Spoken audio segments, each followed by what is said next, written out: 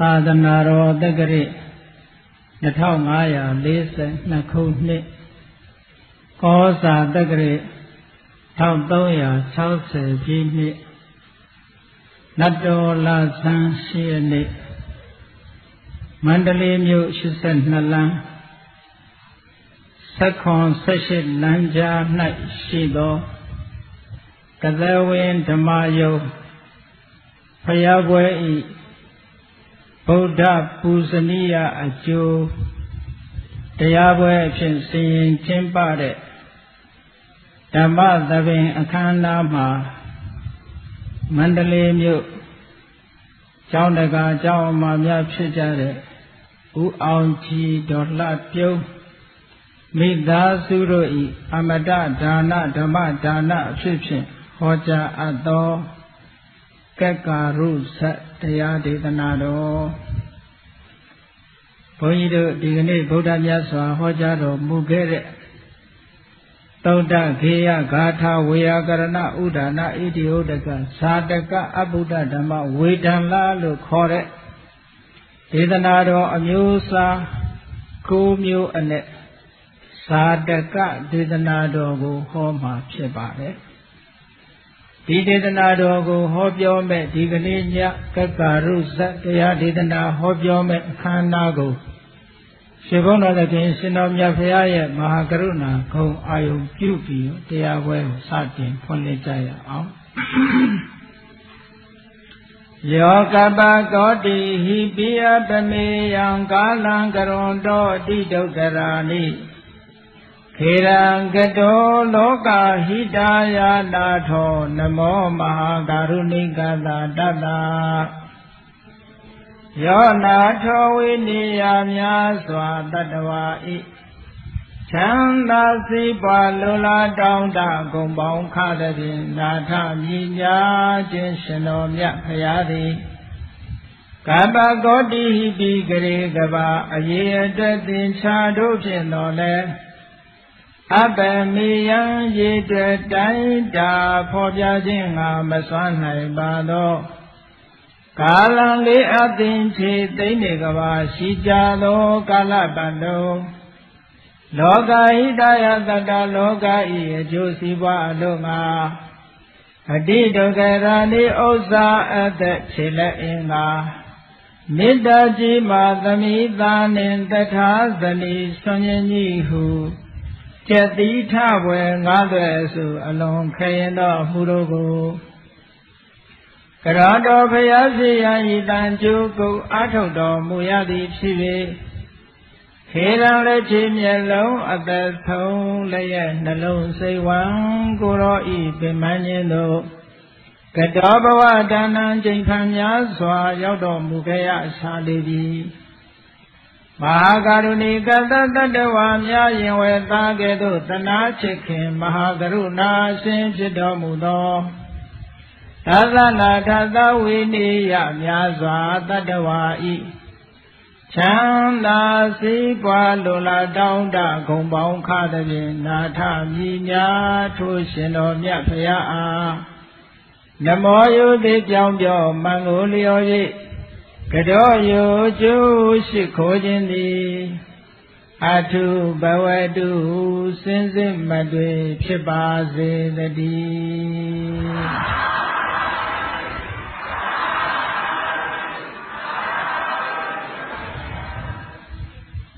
ဗုဒ္ဓမြတ်စွာဟောကြားတော်မူခဲ့တဲ့တရားဓမ္မတွေကိုမြတ်စွာဘုရားရဲ့လက်ထက်တော်ခါကာလတုန်းကကိုမျိုးခွဲခြားထားတာရှိပါတယ်။ သုတ္တဆိုတဲ့အမည်နဲ့မှတ်တမ်းတင်ထားတဲ့တရားဒေသနာတော်များရှိတယ်လို့ခေယတို့ဝေယကရဏဂါထာဥဒါနဣတိဥဒ္ဒကသာတကအဘုဒ္ဓဓမ္မလို့ဒီလိုအမည်ကိုမျိုးခွဲခြားပြီးတော့ဗုဒ္ဓရဲ့ဒေသနာတော်တွေကိုမှတ်တမ်းတင်ထားခဲ့ကြပါတယ်ဗုဒ္ဓမြတ်စွာလက်ထက်တော်အခါကာလတုန်းက ဒီလိုအမျိုးအစားကိုမျိုးခွဲခြားပြီးတော့မှတ်တမ်းတင်ထားတာဟာပထမသံဃာနာတင်တဲ့အခါကျတော့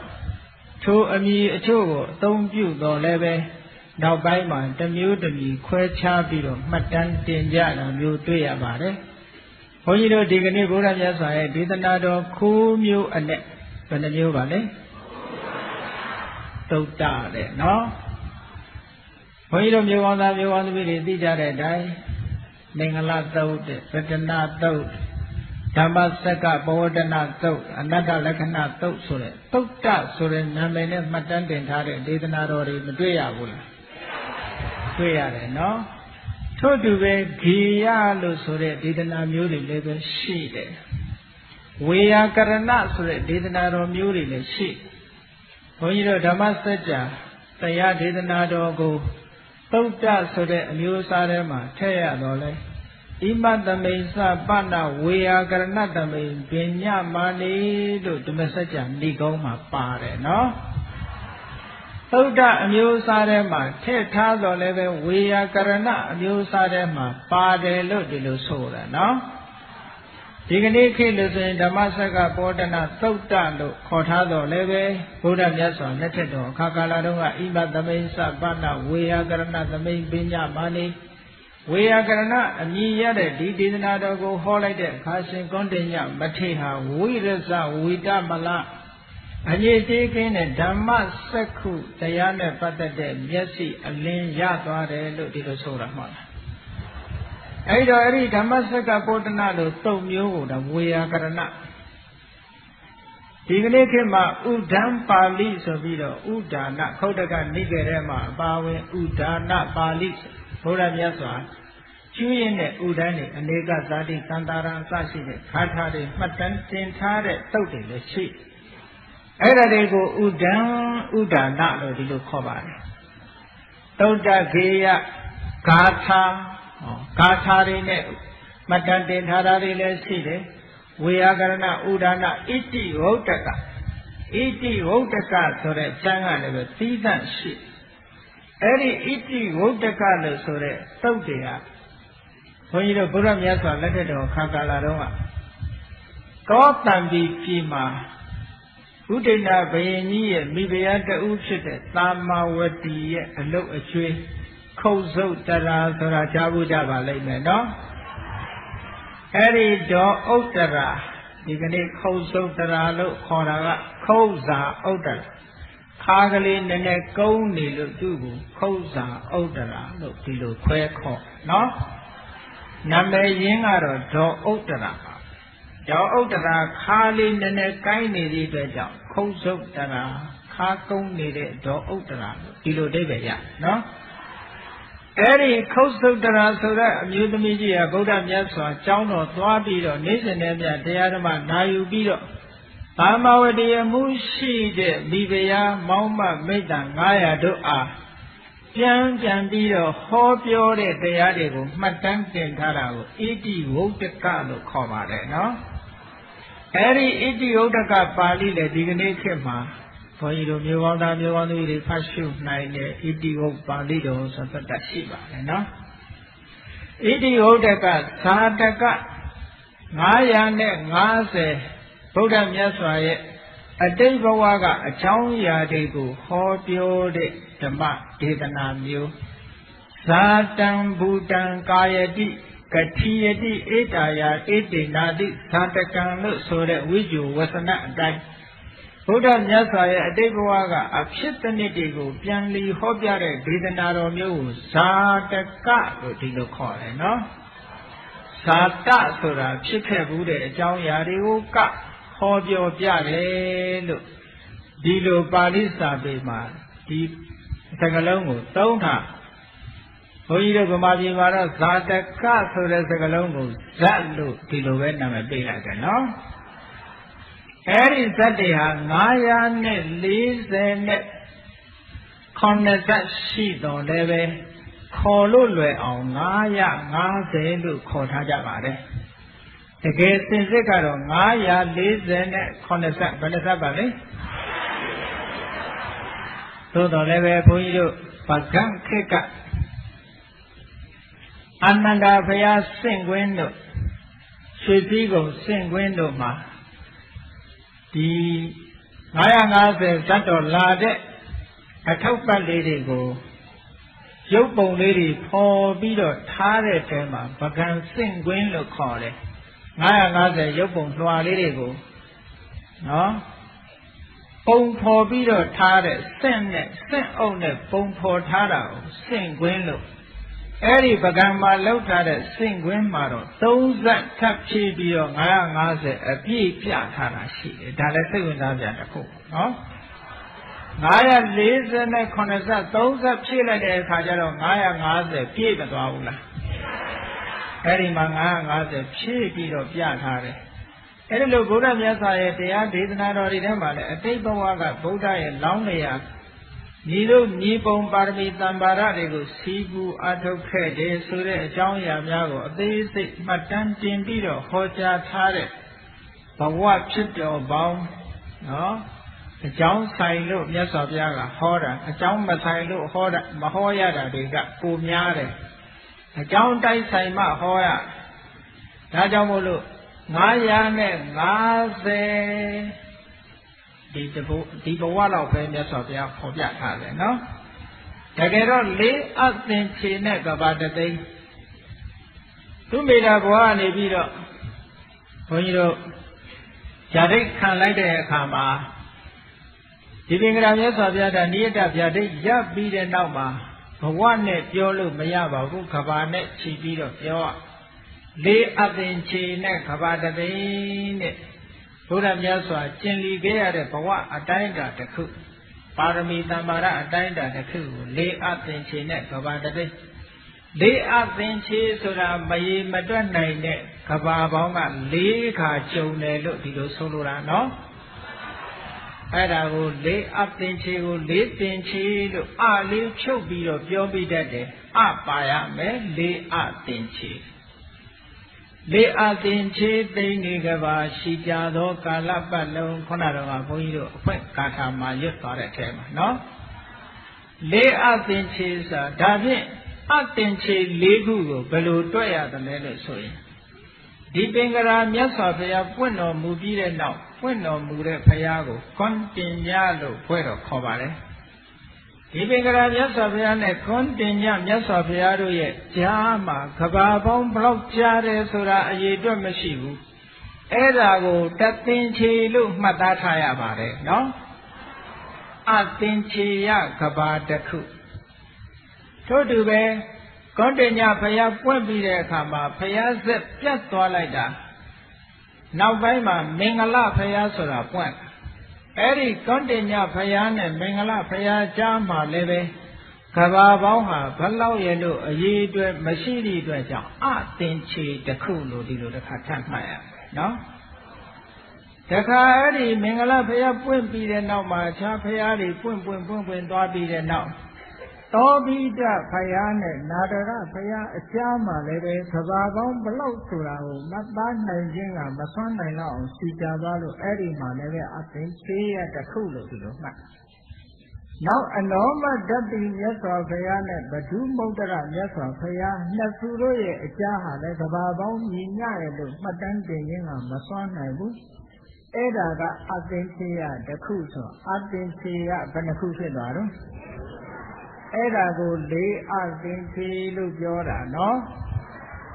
မရေမတွက်နိုင်တဲ့ကဘာက၄ခုရေတွက်လို့ရတဲ့ကဘာကသသိန်းနှစ်ခုပေါင်းလိုက်တဲ့အခါမှာ၄အသင်္ခေနဲ့သသိန်းလို့ဒီလိုဆိုလိုတာကဘာပေါင်းဒီ၄အသင်္ခေနဲ့သသိန်းနဲ့ဘောဓဘာဘုရားရဲ့အလောင်းတော်ပါရမီတံပါရများကိုဖြည့်စည်း အာထုတ်တော်မူခဲ့ရတယ်တဲ့အဲ့ဒီလိုအာထုတ်တဲ့အချိန်တွေနဲ့ပတ်သက်ပြီးအင်မတန်မှရှည်ကြတဲ့ကာလမှာဗုဒ္ဓမြတ်စွာဟာဘလောက်ခဲရင်တဲ့အလုပ်တွေကိုလုပ်ရတယ်လဲဆိုရင်အတိဒုက္ခရာနိဥစ္စာအသက်ခြေလက်အင်္ဂါမေတ္တာကြီးမားသမိသားနှင့်တထာဇနီစွန့်ခြင်းကြီးဟုသူများတွေစွန့်ဖို့ရအမတန်ခဲရင်တယ်ဟုတ်လား အမတန်စွန့်မှုရာခဲရင်တဲ့စွန့်ခြင်းကြီး၅ပါးကိုဖြည့်စွန့်ပြီးတဲ့အခါမှာဘဝတိုင်းဘဝတိုင်းဒီလိုစွန့်ရတာလွယ်လွယ်ကူကူမဟုတ်ပါဘူးနော်ဥစ္စာအသက်ပစ္စည်းဥစ္စာတွေလည်းစွန့်ရတယ်အသက်လည်းစွန့်ရတယ်ခြေလက်အင်္ဂါကိုယ့်ရဲ့ကိုယ်အင်္ဂါတွေကိုလည်းစွန့်ရတယ်ဥစ္စာအသက်ခြေလက်အင်္ဂါမေတ္တာကြီးမားသမီးသားနဲ့ အင်မတန်ချစ်တဲ့သားသမီးတွေကိုလည်းဆွန့်ရတယ်မုန်းလို့ဆွန့်တာတော့လွယ်ပါတယ်မလွယ်ဘူးလားဟုတ်လားခုသတင်းစာတွေကနေပြီးဘယ်သားသမီးတွေပြောမကောင်းလို့ဆိုပြီးတော့အမွေပြတ်ကြော်ညာလွယ်ဘူးလားသတင်းစာတိုင်းပို့ထက်နော်ဘုရားလောင်းကတော့အဲ့ဒါမဟုတ်ဘူးနော်မေတ္တာကြီးမှသမီးသားနဲ့တထာဇနီးအမတန်ခင်မင်းချစ်ခင်လာပါတဲ့ ဇနီးများကိုလည်းပဲစွန့်လှူရတယ်ဆိုတဲ့အမတန်ခဲရင်တဲ့မဟာပရိစ္ဆာကစွန့်ရင်းကြီး၅ပါးကိုရှိစွန့်သူလောကထစရိယလောကရဲ့အကျိုးကိုကျင့်တော်မူခြင်းညာတတစရိယမိမိရဲ့စေရီမျိုးတွေအမျိုးသားတွေရဲ့အကျိုးကိုကျင့်ခြင်းဗုဒ္ဓတစရိယဖယားဖြစ်ဖို့ရသာဝိတဉာဏ်တော်ကြီးရဖို့ရရှင်းကြံကြိုးကိုအားထုတ်ခြင်းလို့ဆိုတဲ့အများသူ၃မျိုးနော် စရိယ၃မျိုးလေးအပင်ခြေနဲ့ကဘာတပိန်အတွင်းမှာဘုရားမြတ်စွာဟာပင်ပင်တန်တန်ခဲခဲရင်းရင်းနဲ့လောက်ခဲ့ရလို့အဲ့ဒီလိုဆုံးလိုက်ရတဲ့ခြေတံလက်ခြေမျက်လုံးအသက်ဆုံးလိုက်တချို့ဘဝတွေမှာလက်တွေခြေတွေအဆုံးခံရတယ်တချို့ဘဝတွေမှာမျက်လုံးတွေအဆုံးခံရတချို့ဘဝမှာအသက်တောင်အဆုံးခံရ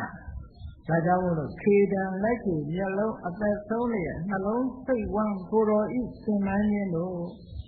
အလောအပင်မှန်းခံပြီးတော့အမတန်ဇွဲကောင်းလို့လို့ဒီပါရမီတွေမပြည့်ပြည့်အောင်ဘုရားမြတ်စွာနောင်းလျာတော့ဟာဖြည့်စင်တော်မူခဲ့ရအဲ့ဒါလို့ဖြည့်စင်တော်မူခဲ့တဲ့ဘဝဟာ950တင်စနိုင်ပါမလားမစနိုင်ဘူးနော်အဲ့ဒါတိုင်းစီကြလာတဲ့ ကဘာပေါင်း၄အပင်ခြေနဲ့တသိန်းကာလအတွင်းမှာဘဝပေါင်းကအပင်ခြေအနန္တဖြစ်ပြီးတော့ပါရမီများကိုဖြည့်ခဲ့ရတယ်။ဒါကြောင့်မလို့ဘုန်းကြီးတို့မြေပါသာမြေပါသမီးတွေစဉ်းစားပြီးတော့ဖြည့်အဲဒီလေးအပင်ခြေနဲ့ကဘာတသိန်းကာလအတွင်းမှာဘုရားအလောင်းတော်ကြီးမျက်လုံးများကိုထုတ်လှူခဲ့ရတဲ့အချိန်ပေါင်းဟာ ဘုရားအလောင်းတော်ထုတ်လှူလိုက်တဲ့မျက်လုံးများရဲ့အရေးအတွက်ပမာဏသည်ကောင်းကျင်ပေါ်ကကျယ်ရည်တဲ့များတယ်တဲ့ကောင်းကျင်ကကျယ်ရည်ရည်တွက်လို့ရ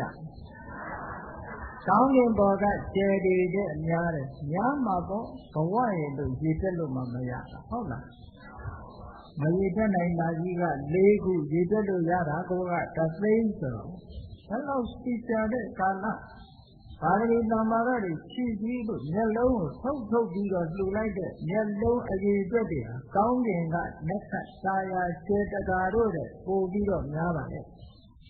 ဘုရားအလောင်းတော်ခန္ဓာကိုယ်ကနေထုတ်ပြီးတော့လှူလိုက်ရတဲ့သွေးပမာဏဟာလေသမုဒ္ဒရာ၄ဆင်းတွေကရေတဲ့များသေးတယ်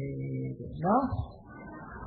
အဲ့ဒါလောက်ကြည့်အောင် သင်္ကြန်ကျုပ်ကိုအာထုတ်တော်မူခဲ့ရတဲ့ဘဝတွေကိုခေါ်ထားတဲ့ဒေသနာဘဝအချို့အကြောင်းအားလျော်စွာဟောပြထားတဲ့ဒေသနာကိုသာတကဒေသနာလို့ဆိုလို့ခေါ်တယ်နော်သာတကအဘုဒ္ဓဓမ္မအရလုံးပေါင်းလိုက်တဲ့အခါဘုရားမြတ်စွာဟောကြားတော်မူတဲ့ဒေသနာတော်ဒီဘယ်နှမျိုးလဲကိုမျိုးအဲ့ဒီကိုမျိုးတည်းကဒီကနေ့ ဘုန်းကြီးတို့ဟောမဲ့ဒေသနာကဘာဒေသနာသာတကဒေသနာအဲ့ဒီသာတကဒေသနာတွေလည်းလည်း950တဲကဘယ်တော့လဲလို့ဆိုရင်930နဲ့20မြောက်ဖြစ်တဲ့900တဲက230နဲ့20မြောက်ဖြစ်တဲ့သက္ကာရုသတ်နော်သက္ကာရုဆိုတာကနတ်တန်းတော်ဝင်ကိုခေါ်ပါတယ် ဘာကိုခေါ်ပါလဲအနတ္တအဖို့ထိုက်တန်တဲ့နတ်ဒီမတန်ဆင်ခွင့်ရှိတဲ့သံမျိုးကိုကက္ကာရုလို့ခေါ်တယ်အနတ္တမှုိတိုင်ပြီးတော့လှတဲ့သံလေးတွေညာတွေ့လို့ရှိရင်ကက္ကာရုလို့နာမည်ပေးခြင်းပေးထားပါတော့အဲ့ဒီကက္ကာရုဆိုတဲ့နတ်တန်းတော်ဝင်တန်တိုက်တဲ့ပုဂ္ဂိုလ်မှတန်ရတယ်မပန်တိုက်တဲ့ပုဂ္ဂိုလ်တန်လို့မရဘူးတဲ့ ဒီကက္ကာရုဇတ်ဟာဘုန်းကြီးတို့မျိုးကောင်းသားမျိုးကောင်းသမီးတွေလူဘဝလူကျော်နဲ့ပြည့်စုံတဲ့ပုဂ္ဂိုလ်နတ်တန်းတော်ဝင်ကိုပန်တိုက်တယ်ပန်တိုက်တဲ့ပုဂ္ဂိုလ်နဲ့မပန်တိုက်တဲ့ပုဂ္ဂိုလ်ဒီကနေ့ညရွေးချယ်ရမှာဖြစ်တယ်နော်ကိုယ်ကိုယ်ကိုပြီးတော့မှသာအခြေပေးဘုန်းကြီးတို့ကတော့အခြေမပေးလို့ဘူး ငါဟာနတ်တန်းတော်ဝင်ကိုပန်တိုက်သလားမပန်တိုက်ဘူးလားဆိုတာကိုယ့်ကိုယ်ကိုအခြေပေးကြရမှာဖြစ်တယ်နော်ဒီဇလံဟောကြားနိုင်ပြီးတဲ့နောက်မှာအခြေဒီကိုယ့်ဘာကိုယ်ဖြေရမယ်အခြေမျိုးဖြစ်ပါလိမ့်မယ်လို့ဒီလိုမှတ်ပါနော်ဘုန်းကြီးတို့ပြောပါသားပြောပါသမီးတွေလူဘဝရဲ့နတ်ဘဝရဲ့ နတ်တွေကလူဘဝကိုဘယ်လိုမြင်ပြီးတော့လူတွေကနတ်ဘဝကိုဘယ်လိုမြင်သလဲနတ်ဆိုတဲ့နေရာမှာဘုန်းကြီးတို့နတ်တွေကဘုန်းကြီးတို့ကဘာမြေကြီးနဲ့ဆက်ဆက်နေတဲ့နတ်ဘုံမှာနှစ်ဘုံရှိတယ်စတုမာရနတ်ဘုံနဲ့တာဝရိန္ဒနတ်ဘုံအဲဒီစတုမာရနဲ့တာဝရိန္ဒတို့သည်လူရဲ့ကဘာမြေကြီးနဲ့ဆက်ဆက်တည်ရှိတဲ့ နတ်များဖြစ်သောကြောင့်ဘူမတ်ထကနတ်မြေကြီးပေါ်မှာတည်နေတဲ့နတ်တွေလို့လူနဲ့လည်းအမတန်လေးဆက်ကြတယ်နော်ဘုန်းကြီးတို့နတ်နဲ့လူနဲ့ဘယ်လိုကြွားသလဲနတ်ဆိုတာတောင်ပြုံးကနတ်ကိုမပြောလို့ဘူးနော်အဲ့တော့ဘုန်းကြီးတို့နတ်ဆိုတာအမတန်မှဒီ ကံတရားကိုအမိပြုပြီးတော့နတ်တွေဟာကမ္မဖလူပဇီဝီအတိတ်ဘဝကပြုလုပ်ခဲ့တဲ့ကံတစ်ခုတည်းကိုအမိပြုပြီးတော့အသက်ရှင်နေကြရတယ်ဒါနတ်တွေရဲ့အခြေအနေနော်လူတွေကြတော့အဲ့လိုမဟုတ်ဘူးဥဋ္ဌာဏဖလူပဇီဝီတဲ့လူတွေဆိုတာစာနိုင်မှဝမ်းဝတယ်အလုံးလုံးနိုင်မှစားကြရတယ်ဟုတ်ကဲ့ လူဘဝကဥဋ္ဌာဏဖလူပဇီဝီလုံလဝိရိယပေါ်မှာမြည်ပြီးတော့အသက်ရှင်ကြရတယ်နတ်တွေကကမ္မဖလူပဇီဝီကံလေးကိုမြည်ပြီးတော့အသက်ရှင်ကြရအဲ့ဒါလိုကံကိုအသက်မှီပြီးတော့အသက်ရှင်ရတဲ့နတ်တွေရဲ့လုံလဝိရိယကိုမှီကိုပြီးတော့အသက်ရှင်ကြရတဲ့လူတွေရဲ့ဒါသူတို့နှစ်ခုရဲ့ခြားနာချက်ပဲ လူဆိုတာလုံးမစားရတယ်နတ်ကလုံးเสียမလိုဘူးကံကောင်းမှစားရအဲ့တော့ကံအကြောင်းကိုလူတွေနဲ့နတ်တွေဘယ်သူကပိုသိမလို့နတ်တွေကပိုသိတာပေါ့သူတို့ကကံကိုမှီပြီးတော့စားနေကြရတာနော်အဲ့ဒါကြောင့်မို့လို့နတ်တွေကတာဝရိန္ဒာပြည်ကတာဝရိန္ဒာနတ်ပြည်မှာရှိတဲ့နတ်တွေကနောက်သားတဦးတယောက်ဒီတက်တန်းစေလို့ တေခံနေကြလို့ရှင်အတိတ်နမိတ်တွေပြတဲ့ဘယ်လိုအတိတ်နမိတ်တွေပြတယ်လို့ဆိုရင်နတ်တွေပန်ထားတဲ့ပန်းလေးကလည်းညှိုးလာတယ်ဝတ်ထားတဲ့အဝတ်ကလေးတွေကလည်းနွမ်းလာခါလိုက်ဆိုရင်တစ်ခါပန်ထားရင်နတ်တန်းဆိုတာဘယ်တော့မှမညှိုးဘူးနတ်ဝတ်နတ်သားဆိုတာလည်းဘယ်တော့မှနွမ်းသွားတယ်လို့မရှိရဲ့ဟုတ်လားနော် OSO တို့ OMO တို့လောက်ပြန်မလို့ဘူးပေါ့ခွေးတို့နော်နတ်ပြည်ကနတ်တွေရဲ့အဝတ်ပင်းပင်းပေးကြလည်းမလို့ဖွတ်ကြလည်းမလို့နော်ဝါရှင်မရှင်နဲ့ထည့်ကြလည်းမလို့ဒိုင်းရလည်းတော့၆ဆရာလည်းမလို့နော်တခါဝတ်တာအမြဲတမ်းကိုတောက်တောက်ပြောင်ပြောင်ဖြစ်ပြီးတော့နေတယ်တဲ့ဟောအဲ့ဒါလိုအခြေအနေမျိုးရှိတဲ့နတ်တွေဟာသုတေကံကြီးရောက်လာပြီဆိုလို့ရှိရင် တန်ထားတဲ့ပန်းလေးကလည်းညှိုးလာတယ်ဝတ်ထားတဲ့အဝတ်ကလေးကလည်းပဲမြစ်သိမ့်လာစိတ်ညစ်ပြီးတော့ကိုနေတဲ့နေရာလည်းမပြောဘူးတဲ့နော်ခန္ဓာကိုယ်မှာဆိုလို့ရှိရင်လည်းပဲနတ်ပြည်ရဲ့အသားအရည်အယောင်ဆင်းဆိုတာအမြဲတမ်းဝါဝင်းစိုးပြေးနေတယ်နတ်သားဆိုလို့ရှိရင်25နှစ်အရွယ်နတ်သမီးဆိုရင်16နှစ်အရွယ် အမြဲတမ်းလူပြိုဆိုဤနေတဲ့အသားအယောင်ကလည်းဒေဂနီးကြတော့မွဲ66ကလေးဖြစ်လာတယ်။ဂျိုင်းသားကလည်းချွေးတွေယိုးလာတဲ့ဘယ်တော့မှနတ်ဟာချွေးထွက်တာမဟုတ်ဘူး။နော်လူပြည်လူများချွေးထွက်ရမယ်ဆိုရင်ခက်တာအဲ့တော့နတ်ပြည်ကနတ်တွေကချွေးထွက်ပြီဆိုလို့ရှိရင်ဒီနတ်ဟာသူ့တည်မနေွယ်လွန်ရတော့မှာ အဲ့ဒီလိုသင်္ကေတလေးတွေကိုချိအရေးနမိတ်လေးတွေကိုချိတာနဲ့နတ်တွေဟာသိရတော့မယ်ဆိုတာကြိုတင်သိတယ်နော်အဲ့ဒါလိုသိရတော့မယ်ဆိုပြီးတော့စိတ်ညစ်နေတဲ့နတ်တူကိုဥယျာဉ်နဲ့ဆွဲခေါ်သွားတဲ့အခါအမတန်လှပတဲ့ဥယျာဉ်ကြီးပဲရောက်သွားတော့နေပြောက်သွားတယ်အဲ့ဒါလိုနတ်တော်ဥယျာဉ်ကြီးတွေရောက်တဲ့အခါကျတော့အပေါင်းအသင်းရောင်းရင်းဖြစ်တဲ့နတ်သားနတ်သမီးတွေကဝိုင်းပြောတယ် ကဲတရားတော့မှဆိုတော့မထူးဘူးဘယ်မှမသွားနဲ့သူကတိဘုံကိုရောက်အောင်သွားတဲ့စကားသုံးခုကိုမှားကြားလိုက်ကြတယ်သိလို့ရှိရင်သူကတိဘုံကိုရောက်အောင်သွားပါတဲ့သူကတိဘုံရောက်အောင်သွားပြီးတော့အကောင်းဆုံးလတ်လဘတစ်ခုကိုရအောင်ယူပါတဲ့အဲ့ဒီလတ်လဘလည်းမိမိရဲ့တဏ္ဍာမှာခိုင်ရဲအောင်ကြိုးစားပါဆိုတဲ့စကားသုံးခုကိုမှားလိုက်ကြတယ်တဲ့နော် စိတ်ကူးမလွဲနဲ့အိုအချင်းနာကအချင်းနာသမီးသုကတိဘုံကိုသွားလို့ပထမစကားကောင်းကသုကတိဘုံကိုသွားဆိုတာဘယ်သွားခိုင်းတာတော့ဆိုလူပြေသွားခိုင်းတာဟုတ်ကလားနတ်တွေကလူဘုံကိုသုကတိဘုံလို့ဒီလိုသတ်မှတ်တယ်ဘာဖြစ်လို့လဲဆိုရင်လူဘုံလူဘဝတုန်းကကုသိုလ်ကောင်းမှုတွေပြုခဲ့လို့သူတို့ချမ်းချမ်းသာသာနတ်ပြည်မှာဖြစ်ကြတာဒါကြောင့်မို့လို့လူပြေကိုသွား အကောင်းဆုံးလက်ကိုရအောင်ယူဆိုတာကံကံဤအကျိုးကိုယုံကြည်ခြင်းဆိုတဲ့သတ္ထာတရားအဲ့ဒီကံကံဤအကျိုးကိုယုံကြည်ခြင်းဆိုတဲ့သတ္ထာတရားဒီမခိုင်ရဲတတ်ဘူးလွယ်လွယ်လေးနဲ့ပြည့်စည်သွားတဲ့တယ်ဒါကြောင့်မို့လို့အဲ့ဒါခိုင်ရဲအောင်ကြိုးစားပါဆိုတဲ့စကားသုံးခုကိုမှားလိုက်ကဲဘုန်းကြီးတို့မြေကောင်းသားမြေကောင်းသမီးနတ်ကြီးကနတ်တွေကလူဘုံကိုဘယ်လိုတန်ဖိုးထားကြလဲဆိုတာဒီအချက်ကိုထောက်ကြည့်သိတယ်နော် ဘုန်းကြီးတို့မြေကောင်းသားမြေကောင်းသမီးတွေနတ်တွေကပြောတဲ့သုကတိဘုံလို့ခေါ်တဲ့လူဘုံရောက်နေပြီကံကံရဲ့အကျိုးကိုယုံကြည်ခြင်းဆိုတဲ့တတ်တာတရားတွေရောရှိနေကြဘူးလားရှိနေအဲ့ဒီသရတရားလေးကြောင်းလဲပြည့်စည်မသွားအောင်လည်းထိမ့်သိမ်းဆောက်ရှောက်ရမယ်တဲ့တတ္ထာတရားဆိုတာခြေတလန်းနှမ်းလိုက်တာနဲ့တပြိုင်နက်တတ္ထာတရားကလည်းဖြစ်သွားနိုင်လေတယ်နော် တကောရှင်ဖြစ်တဲ့ရှင်မမောကလမထေရကြီးတောင်တတ္ထာတရားကြအမခံခံနိုင်မှုတဲ့ဟုတ်ကဲ့ရှင်တေဝလိမေတော်သုပ္ပဝါဒခုနှစ်နှစ်ခုနှစ်လခုနှစ်ရက်မိမဖွားနိုင်လို့ဆင်းရဲဒုက္ခတွေကြုံပြီးတဲ့နောက်မှာရှင်တေဝလိလေးကိုမွေးဖွားလိုက်မွေးဖွားလိုက်တဲ့အခါကျတော့အသက်ဘေးအန္တရာယ်ကလွတ်မြောက်လာတာဖြစ်လို့ မြတ်စွာဘုရားကိုခုနှစ်ရက်ခုနှစ်လီတန်ဃာတော်အရှင်မြတ်တွေဆုံးကတ်တယ်လို့ဘုရားစီလာလျှောက်လာလျှောက်တဲ့အခါကျတော့ဆုံးကတ်မဲ့တရားကသင်ထားပြီးသားရှိနေတယ်အဲ့ဒီတရားကဘု து တရားလဲဆိုရင်ရှင်မမောကလံကိုးကွယ်တဲ့တရားအိမ်ကသင်ထားရသော်ဘုရားသခင်ကိုကိုရောမြတ်ကရှင်သေဝလိလောင်းလျာလေးကိုဦးစားပေးလို့တဲ့ဘုရားဆိုတာဦးစားပေးတယ်ဆိုကျွတ်မဲ့ပုဂ္ဂိုလ်ဦးစားပေးရတယ်နော်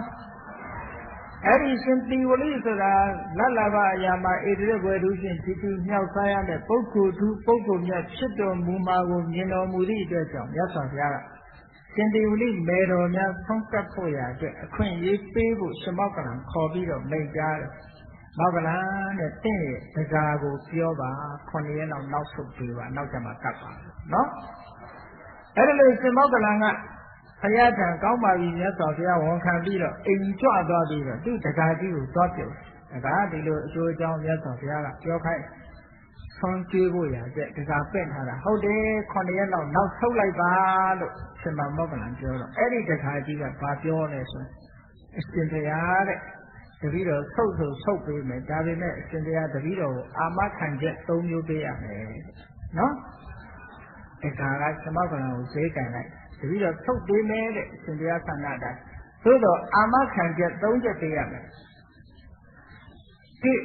ခொနည်းရဲ့အတွင်းတပည့်တော်မသေးဘူးဆိုတာရှင်တရားအာမခံသေသွားလည်းကတ်လို့မရတော့ဘူးနော်နံပါတ်1တပည့်တော်ရဲ့သစ္စည်းဥစ္စာတွေရေမင်းပြီးခိုးသူမဖြစ်မနစ်တော့မွေကံသားသမီးဆိုးတွေကြောင့်မပြည့်စည်စေရဘူးဆိုတာအာမခံရမယ်နံပါတ်3 တပည့်တော်အခုဆုံးကတ်ခြင်းနဲ့တရားတရားတစ်ဖွားဖွားဖြစ်နေဟိုခုနှစ်ရက်ကြာတပည့်တော်ဒီတရားတရားဖြစ်ခြင်းမှာဖြစ်အဲ့ဒီတရားတရားလည်းအရှင်ဘုရားအာမခံရမယ်ဟုတ်ကဲ့အဲ့ဒီလိုရှင်မောကလံကိုပြောတော့ရှင်မောကလံကအေးတစ်နဲ့နှစ်ခုနှစ်ရက်ကျင်မင်းမသေးဘူးသူစီဥစ္စာတွေလည်းမပြတ်စေအောင်ဒီနှစ်ချက်တော့အာမခံနိုင်တယ်တရားတရားတော့ငါအာမမခံနိုင်ဘူးဟုတ်ကဲ့ တရားတရားတော့ကိုယ့်ဘာကိုယ်ပဲထိမ့်ပါတဲ့ငါအာမမခံနိုင်ဘူးဆိုသကိုးရှင်တောင်မှပဲအာမခံလို့မရဘူးတရားတရားဆိုနော်ဒါကြောင့်မို့လို့နံပါတ်3အချက်လက်တွေကမှားလိုက်တာကောင်းဆုံးလက်လာဘကိုရအောင်ယူပါအဲ့ဒီလက်လာဘကိုခိုင်မြဲအောင်ကြိုးစားပါဆိုတရားတရားခိုင်မြဲအောင်ကြိုးစားရမယ်တဲ့နော်အဲ့ဒီလိုနတ်ဘုံကနတ်ဘဝ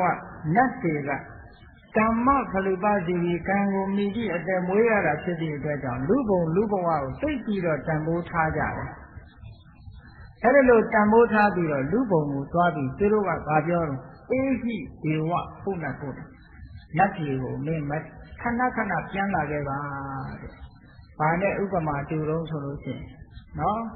နိုင်ငံရခြားသွားပြီးတော့စီးပွားသွားရှာကြ။နှစ်နှစ်သုံးနှစ်အတွင်းစိမ်းပေါင်းများစွာဆန်းလာပြီ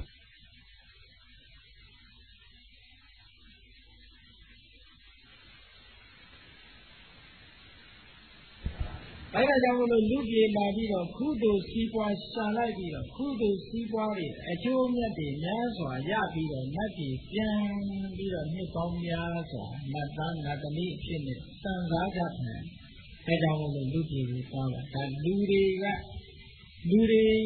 အပေါ်မှာနတ်တွေကတန်ဖိုးထားပုံနော် ဘုန်းကြီးတို့လူတွေကနတ်တွေပေါ်မှာဘယ်လိုတန်ဖိုးထားတယ်လဲဆိုတော့ဘုန်းကြီးပြောကြတယ်လို့ဟောပြီးပြောတာဟောကိုယ့်ဘာကိုယ်သာသင်္ကာကြည့်တန်ဖိုးထားတယ်လားမထားဘူးလားနော်လူဘဝဆိုတာကမ္မဘလူပစီဝီ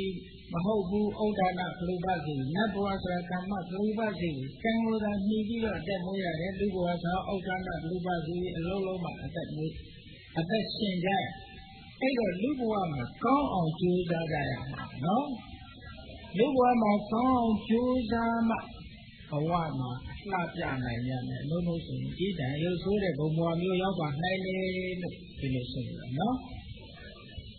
အဲကောင်းပြီဘုန်းကြီးတို့လူတွေကနတ်တွေတဲ့ပါတဲ့အချက်၃ချက်တော့ရှိဒါကခုနကတော့နတ်တွေကလူကိုတန်ဖိုးထားဖို့တခါနတ်ကြီးတဲ့လူတွေကသားနေတဲ့အချက်၃ချက်ပါလဲဆိုရင် သူရာတတိမန္တောဣဒဗြဟ္မစရိယဟောတော့သူရာလူတွေကနတ်တွေတဲ့ကိုပြီးရဲစွမ်းတတ်ရှိကြတယ်ဟုတ်ကဲ့လူတွေကနတ်တွေတဲ့ကိုပြီးတော့ရဲစွမ်းတတ်ရှိတယ်ဆိုဒီအချက်မှာပါတယ်နောက်တစ်ခုတတိမန္တောနတ်တွေကသိပြီးတော့တတိမေ့လွယ်တယ်လူတွေကတတိကိုကောင်းတယ်တဲ့လူတွေကလူတွေကနတ်ကြီးတဲ့တတိကိုကောင်းတယ် နောက်တစ်ချက်ကတော့ဣဒဗြဟ္မစရိယဝါတော်မြတ်စွာဘုရားရဲ့ သာသနာတော်မှာ ဝင်ရောက်ပြီးတော့ မြတ်သောအခြင်းကို ကျင့်နိုင်ဖို့ရအခွင့်အလမ်းရှိတယ်။ဘယ်နှချက်တော့အဲ့ဒါလူတွေက နတ်တွေတဲ့ပါတဲ့အချက်။အဲလူဆိုတဲ့ စကားလုံးဟာ ဘုန်းကြီးတို့ ဗမာစကားကတော့ လူဆိုတာ တလူလူတက်နော်။ကောင်းတဲ့အချက်တွေနဲ့ တလူလူ မြင့်တက်နေတဲ့ ပုဂ္ဂိုလ်တွေကို လူလို့ခေါ် ပါဠိစာပေမှာမနုဿမနုဿဆိုတာဒီဘာကြောင့်မနုဿလို့ခေါ်တယ်လို့ဆိုရင်မနောဥပ္ပန္နရေသံတိမနုဿရေသံခြင်းပုဂ္ဂိုလ်၏မနောစိတ်သည်ဥပ္ပန္နမြင်မာလျက်ရှိဣတိတ္တမဆိုတော့တေတုပုဂ္ဂိုလ်တို့မနုဿမနုဿသတ္တဝါတွေထဲမှာလူဟာစိတ်ဓာတ်အမြင့်မားဆုံးပဲတဲ့ဟုတ်ကဲ့ ဒါလူတိုင်းတော့လူကလူနဲ့ကြည့်ရင်တော့စိတ်ကမြင်မှာပါပေါ့နော်သို့တော့လူဖြစ်တဲ့တန်းနဲ့လူမပြီးတဲ့လူတွေလည်းမရှိနိုင်လေဘူးလူဆိုတာစိတ်ကမြင်မှာရမယ်ဆိုတာကမှတ်တာနော်မနောဥဒ္ဒနာယေတံတိမနောတာယေတံတင်ပုဂ္ဂိုလ်တို့ဤမနောစိတ်တတိဥဒ္ဒနာမြင်မှာလျက်ရှိပါပေတော့ဤဣတိတသမထို့ကြောင့် ဒီကုတ္တဝါတို့ဒီမနုဿာမနုဿာမြေကြလေကုန်၏အလုံးသောတ attva တွေတဲ့ပို့ပြီးတော့စိတ်ထက်ရေးရမှာမြင့်နေတဲ့စိတ်ထက်မြင့်မားလို့လူမနုဿာလို့ဒီလိုခေါ်တယ်တဲ့နော်ခဲကောင်းပြီဒီလိုတန်ဖိုးရှိတဲ့လူဘဝရောက်နေတော်လည်းပဲတန်ဖိုးရှိတဲ့အကျင့်တွေရှိမှလူဟာမြတ်နိုင်တယ်နော်သာဝရိန္ဒနတ်ပြည်ကနတ်တွေ လူဘုံလူဘဝကဘယ်လိုလူတွေကိုတန်ဖိုးထားတယ်လို့ဆိုရင်မာတာပိတိပရံသံတုံကုလေစိခာပသာယိနံသန္နံတခိလောသမ္ပါတံပေတုနေယပါယိနံ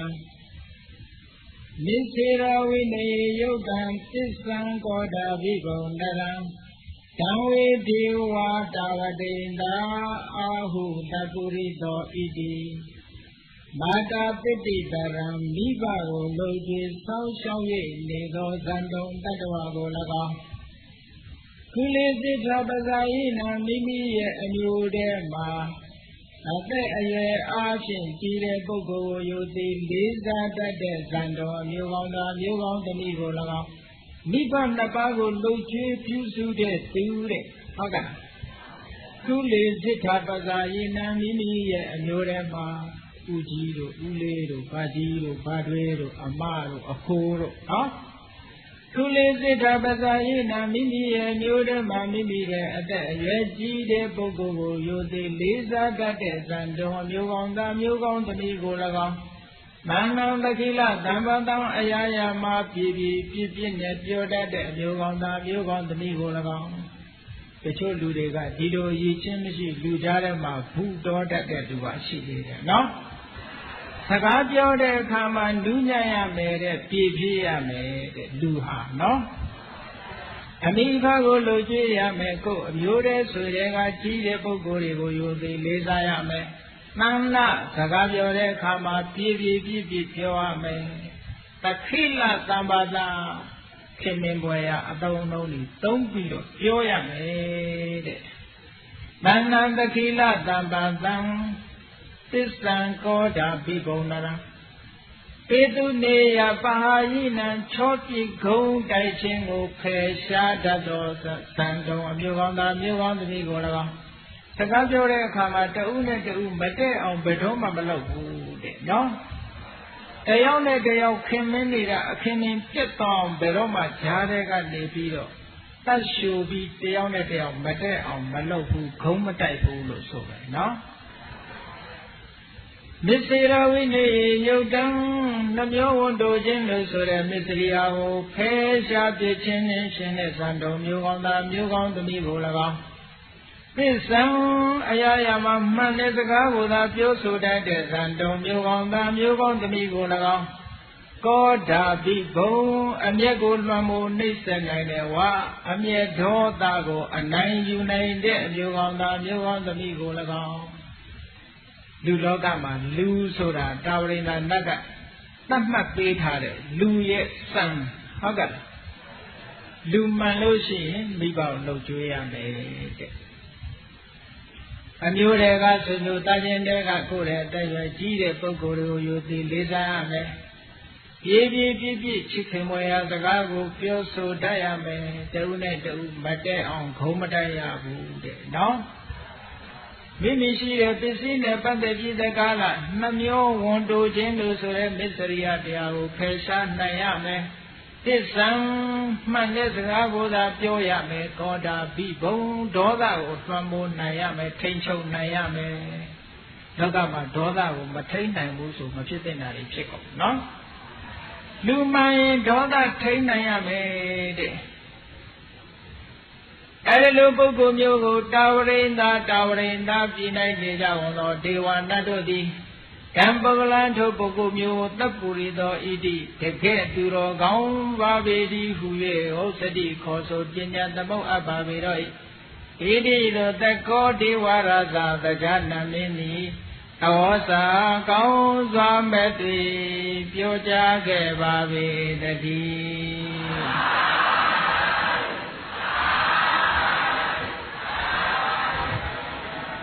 တာဝရိန္ဒာနတ်ကနတ်တွေကနေပြီးတော့ဟောဒီကျင့်ဝတ်9ချက်နဲ့အင်္ဂါ9ရက်နဲ့စံ9ချက်နဲ့ပြည့်စုံတဲ့ပုဂ္ဂိုလ်တပုရိသလူကောင်းလို့ဒီလိုသတ်မှတ်ပါတယ်အပြန်အားဖြင့်အဲ့ဒီအင်္ဂါတွေချို့ယွင်းနေလို့ရှိရင်တပုရိသလို့ခေါ်နိုင်ပါမလားမခေါ်နိုင်ဘူးအဲ့တော့လူပြေကိုနတ်တွေကဒီလိုတန်ဖိုးထားကဲကောင်းပြီဘုန်းကြီးတို့ ကက္ကရုဇတ်မှာလည်းပဲနတ်တွေနဲ့လူတွေနဲ့ဆက်သွယ်ပြီးတော့လူရဲ့ရှိရမယ့်အင်္ဂါရက်တွေကိုနတ်တွေကဘယ်လိုပြောခဲ့တယ်ဆိုတာဘုန်းကြီးတို့နားထောင်ကြည့်ရအောင်နော်အတိတေလွန်လေပြီးသောခါ၌ဗာရဏတိယံဗာရဏတိပြည်၌ပြမတတ်တိပြမတတ်မင်းသည်ရိသမင်းဖြစ်ကိုကာရေတိပြုခဲ့လေပြီ ဘုန်းကြီးတို့950ဇတ်တွေဟာရေပုံရအားဖြင့်အတိတေဗာရဏတိယံပြမတတ်တိရိသံကာရင်တေနဲ့စတာရှိတယ်နော်ဒါကြောင့်မို့လို့ရှေးကပြောရိုးဆိုရိုးဖြစ်လာတယ်ပြည်မတိဗာရဏတိမင်းမတိပြမတတ်ဆိုပြီးတော့နော်ဘာကြောင့်လို့ဆိုလို့ရှိရင်ဘုရားမြတ်စွာရဲ့ဇတ်တောင်းတွေကလည်းတော်တော်များများဗာရဏတိနဲ့ပြမတတ်နဲ့ဆက်သွဲပြီးတော့ဒီနားမှာဖြစ်တဲ့ဇတ်လန်းတွေကတော်တော်များတာ ဒါလည်းပဲသိချာစဉ်းစားကြည့်မယ်ဆိုလို့ရှိရင်ဘဝဆိုတာနိစ္စတဲ့နေရာမှာထပ်ထပ်ဖြစ်တတ်တယ်ဟုတ်ကဲ့တခါတော့ကဥပတာလကဆိုတဲ့ပုံနာကြီးတယောက်ဟာနော်ဥပတာလကဆိုတဲ့ပုံနာကြီးတယောက်ကအသက်အရွယ်ကြီးလာတဲ့အခါကျတော့သူ့သားလေးကိုခေါ်ပြီးတော့မင်းငါသေးလို့ရှိရင်တခြားနေရာမမြုပ်နဲ့ဒီနေရာမြုပ်ဆိုပြီးတောင်တန်းတစ်ခုခေါ်သွားတယ်မှာ ခေါ်သွားပြီးတော့နေရာပြနေတော့ဖယားနဲ့တွေ့တော့ဒါဘာလို့တာတော့ဆိုသူသေးရင်မြုပ်ရမယ့်နေရာလိုက်ပြတယ်ဆိုတော့ဒီနေရာမှာဘယ်သူမှမမြုပ်ဘူးလို့သူကပြောတယ်အဲ့ဒီနေရာမှာသူဟာဘဝပေါင်း900မြုပ်နိုင်ခဲ့ရပြီတာနော်အဲ့တော့ဥပတ္တရကဆိုတဲ့နာမည်နဲ့တင်ကိုပဲဘဝပေါင်း900မြုပ်လူဆိုတာထပ်ထပ်ပြီးတော့ဖြစ်တတ်တယ်နကုလပိတာနကုလမာတာတကာကြီးနဲ့တကမာကြီးချိမြတ်စွာဘုရားရဲ့မိခင်ဖခင်ဘဝနဲ့ဘဝ900 ဦးကြီးဟာလာကြီးတော်ဘဝနဲ့ဘဝ900စီဖြစ်ကြအားလုံးဟာဗုဒ္ဓမြတ်စွာလောင်းလျာသည်သူတို့ရဲ့လက်ထဲမှာဘဝပေါင်း1500ကျင်ပြီးခဲ့ရပူတယ်ဆက်ဆက်ဖြစ်တတ်ပုံကိုပြောတာနော်ရွှေပရိန်တယ်အလောင်းရွှေပရိန်တယ်သောနာကာရဗုဒ္ဓရွှေပရိန်တယ်ဘဝကနေပြီးသင်္ကန်းဝတ်လာတဲ့အမျိုးကောင်းသားလေးဟာဘဝပေါင်း900ရွှေပရိန်တယ်ကြီးဖြစ်ခဲ့တာလေနော် အဲ့ဒါကြောင့်မလို့ရှင်သာရိပုတ္တရာမထေရကအတုဝကမ္မထံပေးလိုက်တဲ့အခါလေးလပတ်လုံးတရားထုတ်တော့လည်းမရဘူး။ဘာဖြစ်လို့ तू ကအလှပကြိုက်တဲ့ပုဂ္ဂိုလ်ကိုအတုဝယွန်စရာကမ္မထံသွားပေးလိုက်တဲ့အခါကျတော့တမာတိမရနိုင်ဘူးပေါ့နော်။မြတ်စွာဘုရားကအမတန်လှပတဲ့ကြံပန်းကြီးဖန်ဆင်းပေးလိုက်တဲ့အခါမှာတခဏအတွင်းစိတ်ကြည်လင်ပြီးတော့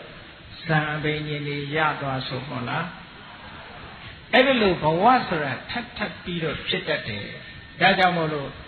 ဗာရဏတိနဲ့ဗြဟ္မတထပ်တာဘာမှအကြောင်းမဟုတ်ပါဘူးเนาะစက်ပေါင်းမှာ950ရှိတာကိုเนาะ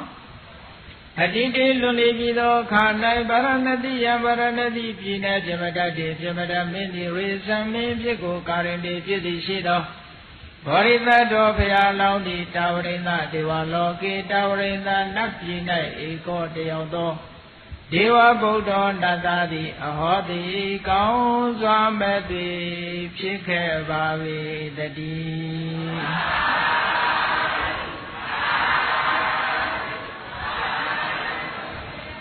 လူပြေမှာဗာရဏသီမှာဗြဟ္မတမင်းကြီးစိုးစံနေတဲ့အချိန်ဘုရားအလောင်းတော်ဟာတာဝရိန္ဒာနတ်ပြည်မှာနတ်သားအဖြစ်နဲ့ဖြစ်ခဲ့ပါတယ်တဲ့ဒီဇာတ်လမ်းထဲမှာနော် တာဝရိန္ဒာမနတ်သားအဖြစ်နဲ့ဖြစ်တဲ့အခါကျတော့ထိုကိထိုခါကာလတုန်းကဗာရဏသီပြည်မှာကြီးကျယ်ခမ်းနားတဲ့ပွဲလမ်းတဲ့တွေကိုဆင်ကျင်းပတော့တာဝရိန္ဒာနတ်ပြည်ကနတ်ပြည်ကလည်းလာပြီးတော့ပွဲချီကြတယ်ပွဲကြိုက်ပုံရတယ်သူတို့ကနော်နတ်ပြည်ကပွဲနဲ့အာမရလို့လူပြည်ကပွဲလာကြည့်ကြတယ်နခါးတွေခလုံးတွေဘုံမထကနတ်တွေဟာ လူပြည်မှာကြီးကျယ်စီကားလာတဲ့ပွဲလန်းသဘင်ကိုလူရောင်ဆောင်ပြီးတော့ပွဲကင်းမှာပွဲလာကြည့်ကြတယ်ဆိုပဲအဲဒီတော့တာဝရိန္ဒပြည်ကနတ်သား၄ဦးဟာဆင်းလာတဲ့အခါကျတော့ပွဲသွားပွဲလာဆိုတော့ဘုန်းကြီးတို့မျိုးကောင်းသားမျိုးကောင်းသမီးတွေပွဲသွားတဲ့အခါများပန်းတွေပါပြီးပန်သွားကြသေးလားမှန်ရတယ်နော်ဒါဝရင်ကနတ်ပြည်ကနတ်သား၄ဦးဟာလည်းပဲကက္ကရုဆိုတဲ့နတ်ပန်းကြီးတွေကို ပန်းကုန်းကြီးလုပ်ပြီးတော့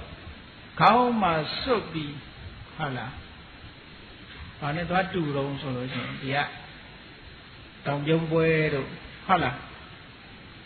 တောင်ပြုံးပွဲတို့ယရဏခုတို့လာတဲ့အခါမှာကြောက်ခက်ပန်းတွေကိုခွေကြီးလုပ်ပြီးတော့ခေါင်းစွတ်ကြတာဟုတ်လား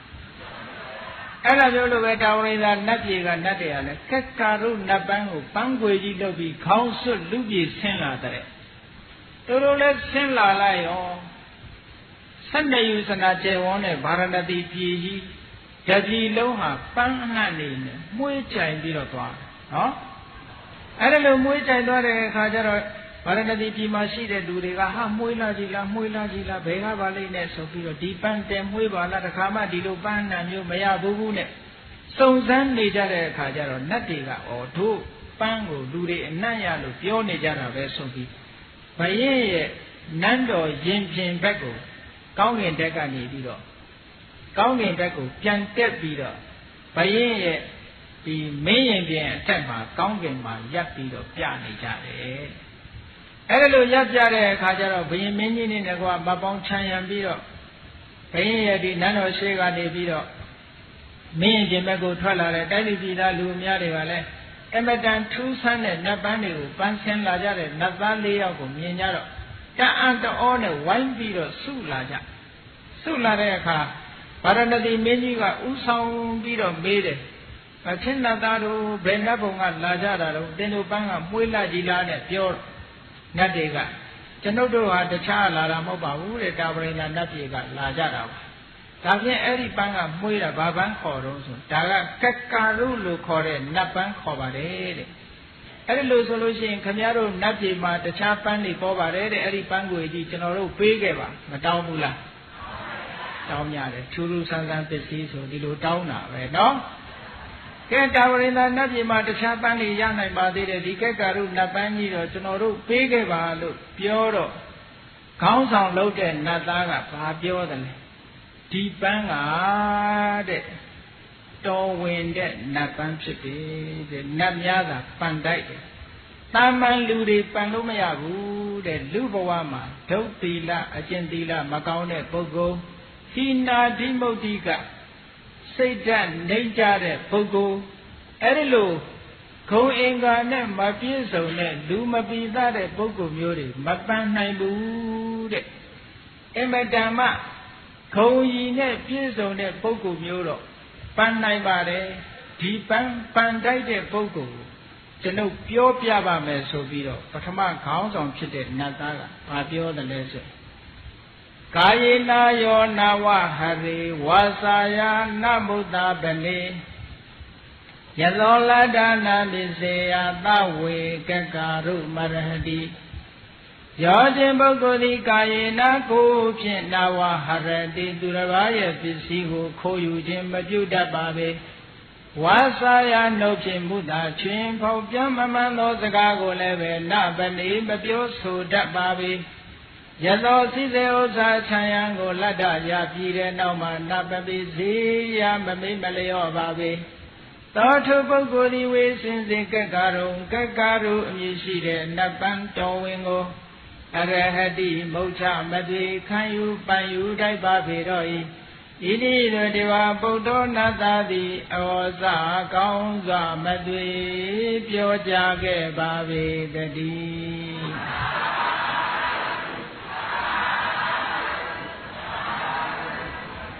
ဟာဒီတော်ဝင်နတ်ပန်းဟာနတ်တွေနဲ့သာတင့်တော်တာသို့တော်လည်းပဲလူထဲမှာကာယေနာယောနာဝဟရိ သူတစ်ပါးရဲ့ပစ္စည်းကိုဘယ်တော့မှခိုးယူခြင်းမပြုတဲ့ပုဂ္ဂိုလ်မျိုးဆိုရင်တော့ဟောဒီပန်းကိုပန်လို့ရပါတယ်တဲ့နော်ကာယေနာကိုဖြင့်နာဝဟရေသူတစ်ပါးပစ္စည်းကိုခိုးယူခြင်းကိုမပြုတတ်ပါသူတစ်ပါးပစ္စည်းကိုဘယ်တော့မှမခိုးဘူးအတိဏဒါနသူများမပေးတဲ့ပစ္စည်းကိုမယူတတ်ဘူးတဲ့အဲ့ဒီပုဂ္ဂိုလ်မျိုးကဟောဒီပန်ပန်လိုက်တယ် ဝါစာယနာမုတ်တာဗနေလိန်လီပြီးတော့လည်းဘယ်တော့မှမပြောဘူးဆိုလို့ရှိရင်ဟောဒီပန်ပန်လိုက်တယ်တဲ့မလိန်တဲ့ပုဂ္ဂိုလ်မခိုးတဲ့ပုဂ္ဂိုလ်အဲ့တော့ခိုးတဲ့လိန်တယ်ဆိုတာလူရဲ့အည်ချင်းတွေပြက်နေတာပေါ့နော်ခိုးခြင်းလိန်ခြင်းဆိုတဲ့အမှုကိုမပြုတဲ့အပြင်ယတောလတ္တနာမေစေယလူတွေကစိစိဥစ္စာချမ်းရံနေတကောအာနာပါဝါတွေရလာတဲ့အခါကျတော့မေ့တတ်တယ်ကု သိုလ်ကောင်းမှုမှာမေးပြီးတော့အာနာရစ်မှုလာတတ်တယ်မန်ရစ်လာတတ်တယ်တဲ့အဲ့ဒါလို့ရှိတဲ့ဥစ္စာချမ်းရံနေရလာတဲ့အခါကျတော့ဘဝမမေ့ပဲနဲ့မမရစ်တဲ့ပုဂ္ဂိုလ်ဖြစ်ရမယ်အဲ့တော့နတ်ပန်းတော်ဝင်ပန်တိုက်တဲ့ပုဂ္ဂိုလ်ရဲ့အရေးချင်းဟာနံပါတ်1သူများဥစ္စာကိုမခိုးရဘူးနံပါတ်2လိမ့်လေလှည့်ပြားပြီးတော့မပြောရဘူး နံပါတ်3စီးစိမ်ယာတုအာနာရရှိလာတဲ့အခါမှာမရစ်မှုရဘူးတဲ့အဲ့ဒီအင်္ဂါ၃ချက်နဲ့ပြည့်စုံလို့ရှိရင်နတ်ပန်းတော်ဝင်ကိုပန်တိုက်ပါတယ်လို့ပထမနာသားကဒီလိုရွေးချယ်ပြီးတော့ပေးတဲ့အခါမင်းရင်ပြင်မှာရှိတဲ့လူသိမ့်ပေါင်းများစွာသောလူတွေဟာနောက်ဆုတ်သွားတယ်ဟုတ်ကဲ့ဘာဖြစ်လို့တုံးဆိုလို့ရှိရင်သူပြည်လူလောကဆိုတာ နော်သူများဥစ္စာမခိုးဘူးလို့ဆိုပေမဲ့လို့တနည်းနည်းနဲ့ယူနေတတ်ကြတာဟုတ်မဟုတ်ဘူးလားခိုးတယ်ဆိုတာသူများပစ္စည်းသွားခိုးမှမှမဟုတ်ဘဲနဲ့လိမ်ပြီးတော့ယူတာလဲခိုးတာပဲနော်နောက်ပြီးတော့မူသားစကားဆိုတာလည်းပဲမူသားမပါလင်္ကာမချောတဲ့လူပြေမှာလင်္ကာချောအောင်တော့နည်းနည်းမူသားလေးထည့်လိုက်ကြသေးတယ်ဟုတ်လား အဲ့တော့မူသားမပါလင်္ကာမချောဆိုပြီးတော့မူသားလေးနည်းနည်းလေးသုံးမှလူရဝင်တာဖြစ်နေတော့ဒီလူတွေပန်းကိုဘယ်သူပန်းရဲပါမတော့မပန်းရဲဘူးကိုကိုကိုမှန်တာကိုပြောတယ်လို့နောက်ပြီးတော့ယာတုအာနာပါဝါလေးရလာတဲ့အခါကျတော့မမေ့ရဘူးဆိုတဲ့ပုံကိုယ်တွေကလည်းပဲအမတန်မှရှားတယ်ဟုတ်ကဲ့အဲ့တော့ ဒီအင်္ဂါ၃ချက်နဲ့ပြည့်စုံမှသာလေဟောဒီကက္ကာရုဆိုတဲ့နတ်ပန်းတော်ဝင်ကြီးကိုပန်ထိုက်ပါတယ်ဆိုတော့တိမ်ပေါင်းများစွာသောလူတွေနောက်ဆုတ်သွားကြတယ်ဒီထဲမှာဘသူထွက်လာတယ်လဲလို့ဆိုရင်ဘယင်ရဲ့ဆရာလုပ်နေတဲ့ပရောဟိတ်ပုံနာကြီးသူကနေရှေ့ထွက်လာပြီးတော့ဗာပြောတယ်လဲဆိုရင်ဟာဒီပြောဆိုတဲ့အင်္ဂါရက်တွေအားလုံးနဲ့ကျွန်ုပ်ပြည့်စုံတယ်တဲ့ ဒါကြောင့်မို့လို့နတ်ပန်းတော်ဝင်ဟာကျွန်တော်နဲ့ထိုက်တန်ပါတယ်ကျွန်တော်ပေးပါလို့ဟုတ်လားတောင်းလိုက်တယ်တောင်းလိုက်တဲ့အခါကျတော့ပထမနာတာကကောင်းပါပြီဆိုသူ့ကောင်းကနတ်ပန်းတော်ဝင်ကိုချွတ်ပြီးတော့ပရောဟိတ်ပုံနာကြီးရဲ့ခေါင်းကိုစွတ်ပေးခဲ့ပုံနာကြီးပန်းတကုံးရမသွားဘူးလားရသွားတယ်နော်ရသွားတဲ့အခါကျတော့ပုံနာကြီးကနောက်ပန်းကုန်းကနတ်သား၄ယောက်ဆိုပန်းကုန်း၄ကုန်းပါ ပန်းတကုံးရပြီးတော့နောက်ပန်းတကုံးနောက်ပန်းတကုံးကိုလည်းပဲသူ့ကိုပေးဖို့တောင်းတဲ့အခါကျတော့ဒုတိယနတ်သားကဘာပြောတော့ယမေနာဝိတမေသေးယနနိကတေယဒနံဟရိဘောဂိလတ္တနပိစေယသဝေကကာရုမရဟတိဒုတိယနတ်သားကသူသူ့စီကပန်းကုန်းကိုလိုချင်လို့ရှိရင်တော့ဟောဒီအည်သွေးစံနေနဲ့ပြည့်စုံရမယ်တဲ့ ရောခြင်းပုဂ္ဂိုလ်သည်ဓမ္မေနတရားတော်နိလန်းဖြင့်ဝိတံစည်းစိမ်ဥစ္စာကိုဧသေးယရှာဖွေရမည်စည်းစိမ်ဥစ္စာရှာတာဟာတရားတဲ့နိလန်းနဲ့သာရှာပဲတဲ့မတရားတဲ့နိလန်းနဲ့မရှာရဘူးတဲ့နော်ဓမ္မေနဝိတမေသေးယဓမ္မေနတရားတော်နိလန်းဖြင့်ဥဋ္ဌာဏဝီရိယေနထကြွလုံလောက်ဝီရိယနော်ဘာဟာဗလပရိစိတလက်ယုံအာကိုတဲ့ တေတံဝခိတချွေဒီဒီကြအောင်ရှာကြရကိုယ့်ရဲ့လုံလစွမ်းအားနဲ့တရားတဲ့ဒီလန်းနဲ့ရှာရမယ်တဲ့ဓမ္မေနာတရားတခြင်းဝိတ္တစည်းစိမ်ဥစ္စာကိုဧသေးရရှာဖွေရမည်နိကတရာကောက်ကျင်စင်လဲသောဤဖြင့်တဏှာဥစ္စာကိုနာဟရေမဆောင်ယူရသူတစ်ပါးဆရာပစ္စည်းရအောင်လို့ဆိုပြီးတော့ကောက်ကျစ်တဲ့ဤတွေမသုံးရဘူးတဲ့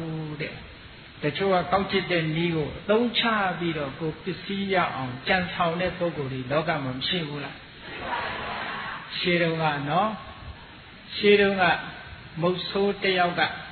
တော်တဲ့ကနေပြီးတော့ဖမ်းလာတာသမင်းနှစ်ကောင်တကောင်ကအကြီးတကောင်ကငငယ်လေးဖမ်းလာဖမ်းလာတဲ့အခါကျတော့လမ်းကြတော့ကစားသမားအယက်သမားတယောက်နဲ့တွေ့တွေ့တဲ့အခါကျတော့မေးတယ်ဒီသမင်ကလေးတွေ ဘလောက်လဲတန်ဖိုးဘလောက်လဲလို့မေးတော့မုတ်ဆိုးလုပ်တဲ့ပုဂ္ဂိုလ်ကအကြီးလေးကအကြီးတကောင်ကနှစ်ချက်တဲ့ဟုတ်လားအဲ့ဒီခေတ်ကဈေးသိပ်ချောင်တာနော်တမင်အကြီးတကောင်ကနှစ်ချက်တဲ့ဟောဒီအငယ်လေးကတစ်ချက်လို့ပြော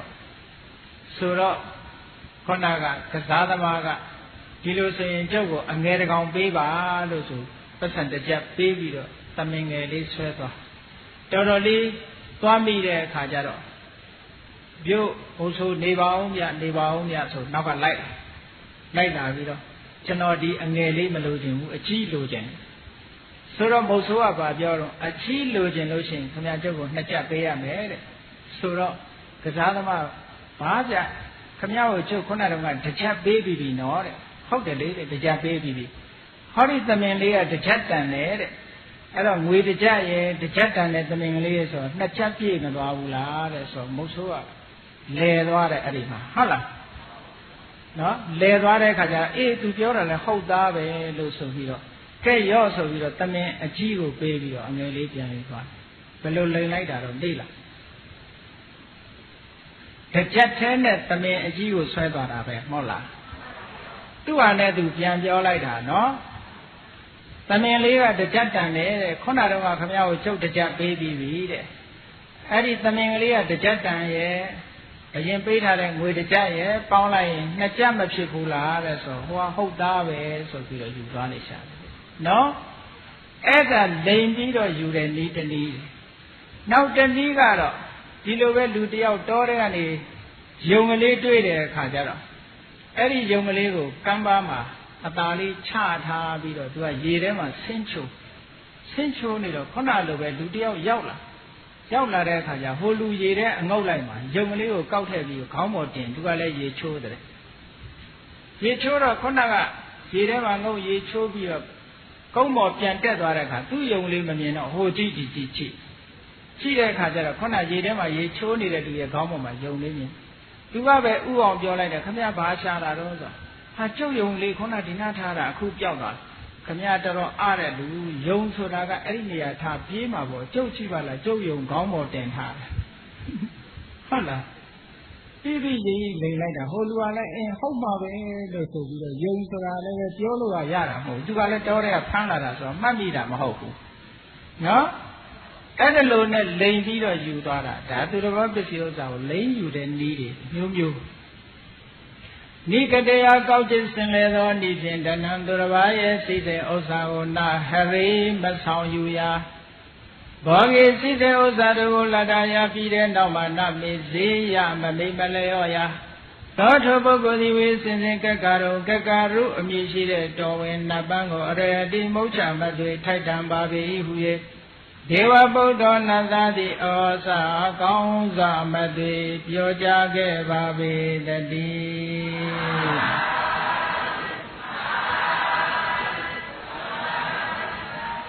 ဒုတိယနတ်သားကစီးပွားရှာရင်တရားသဖြင့်ရှာပါတဲ့ရှာရမယ်တဲ့တရားသဖြင့်ရှာတယ်ကောက်ချစ်ဆင်းလဲတဲ့နီးနဲ့သူတစ်ပါးပစ္စည်းကိုရအောင်မယူတတ်ဘူး ရှိတဲ့ဥစ္စာရလာတဲ့အခါကျတော့မမေ့မလျော့ဘူးဆိုတဲ့အဲ့ဒီအင်္ဂါ၃ချက်နဲ့ပြည့်စုံဒီလိုအည်သေးပြည့်စုံတဲ့ပုဂ္ဂိုလ်ဒီသာလဲနတ်ပန်းတော်ဝင်နဲ့ထိုက်တန်ပါတယ်လို့ဒီလိုပြောတဲ့အခါကျတော့အဲ့ဒီနတ်ပန်းကိုတောင်းရဲတဲ့ပုဂ္ဂိုလ်တယောက်မှမပါဘူးဘယ်သူကတောင်းပရောဟိတ်ပုံနာကြီးကတောင်းကျွန်တော်ဒီအင်္ဂါရက်တွေအားလုံးပြည့်စုံပါတယ်ကျွန်တော်နဲ့ထိုက်တန်ပါတယ်ဆိုတော့သူကောင်းဆုပ်ပေးလိုက်ဟုတ်ကဲ့ တခါတတိယနတ်သားတတိယနတ်သားကသူ့ပန်းကိုပန်တိုက်တဲ့ပုဂ္ဂိုလ်ဟာဘယ်လိုပုဂ္ဂိုလ်ဖြစ်တယ်လဲဆိုတာကိုသူကယသစိတ်တံအာဟာလိတံတတ္တသအဝိရာဂိနိဧကောတာဒုံနာဘုံစေယတာဝေကကာရုမရဟတိ ယသခြင်းပုဂ္ဂိုလ်စိတ်တံစိတ်တိအာဟာလိတ်တံနနင်းဆိုတဲ့အဝတ်ပမာပြောင်းလွယ်ပြက်လွယ်ရှိသည်နာဟောတိမဖြစ်ပါပေတချို့ရဲ့စိတ်ဟာမတည်ငြိမ်ဘူးတဲ့ယသစိတ်တံအာဟာလိတ်တံနနင်းဆိုတဲ့အဝတ်အယောင်ဟာကျွတ်သွားတတ်တယ်လွယ်လွယ်လေးနဲ့နော်စိတ်ကလည်းအယောင်ခဏခဏပြောင်းတဲ့လူမျိုးတဲ့စိတ်အယောင်ခဏခဏပြောင်းလို့ရှိရင်နတ်သားကမကြိုက်ဘူးနော် စိတ်အယောင်ခဏခဏမပြောင်းရဘူးတဲ့ယသာခြင်းပုဂ္ဂိုလ်စိတ်တံစိတ်တိအာဟာလိတံနနွေးဆိုတဲ့အဝတ်နဲ့မတူသည်ဟောဒီစင်စစ်မသည်ဖြစ်ရပါပေတော့ဤတတ္တသာယုံကြည်ခြင်းလို့ဆိုတဲ့တတ္တတရားသည်အဝိရာဂီလွယ်လွယ်ကူကူနှင့်ပျက်စီး၍မသွားသည်ဟောဒီဖြင့်ယုံကြည်တဲ့တရားတရားလည်းလွယ်လွယ်နဲ့ပြတ်သွားတဲ့ပုဂ္ဂိုလ်မဖြစ်ရဘူးတဲ့ ဧကောသာဒုံနာဘုံစေယဧကောတယောက်တည်းတည်းသာဒုံကောင်းသောအရသာရှိတဲ့အစာအာဟာရကိုနဘုံစေယမစားရလောကမှာကောင်းတာကိုတယောက်တည်းမသုံးရဘူးတဲ့ညဝေပြီးတော့စားရမယ်လူလောကမှာလူရလို့ဖြစ်လာတဲ့အခါကိုယ်အနိဗ္ဗာန်မှာမျှဝေစရာပုဂ္ဂိုလ်တွေရှိသာသမီဆိုရင်လူတွေကိုမျှဝေရမိဘမျှဝေရမယ်ဆွေတွေမျိုးတွေမျှဝေရမယ် ကိုယ့်ရဲ့စိတ်မိုးသားခြင်းတွေမျှဝေရမယ်သမဏပြမဏလို့ဆိုတဲ့ဘာသာရေးတွေမျှဝေပေးရမယ်နော်ကောင်းတာကိုတယောက်တည်းစားနေတဲ့ပုဂ္ဂိုလ်ဟာလူကောင်းမဟုတ်ဘူးတဲ့နော်ဧကောတယောက်တည်းဒီတာတုံကောင်းသောရသာရှိတဲ့အစာအာဟာရကိုနဘုံစေရမတုံးဆောင်ရာသောတုပုဂ္ဂိုလ်ဒီဝေစင်စိကက္ကရုံကက္ကရုမြည်ရှိတဲ့နာပန်းကို အရဟတိမုစ္ဆမတိထိုက်တံပါ၏ဣတိတို့ဒီဝပုဒ္ဒောနတ္တိဩဇာကောင်းစွာမသွေပြောကြခဲ့ပါပေတည်း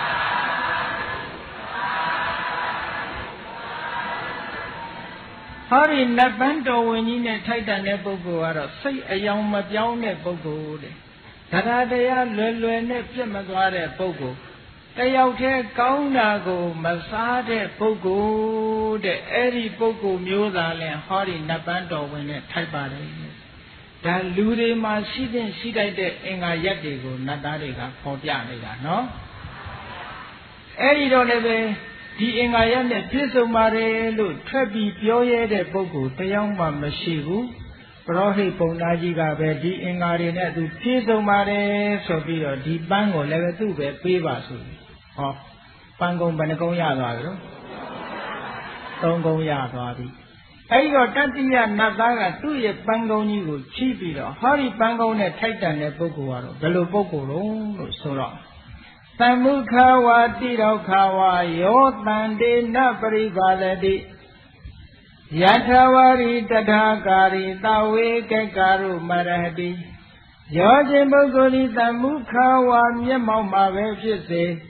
တိရောခဝါကွယ်ရာမှာပဲဖြစ်စေတန်တေသူတော်ကောင်းတို့ကိုနပရိပါဒတိဆယ်ရည်ချင်းပေါင်းခြင်းကိုမပြုတတ်ပါပေ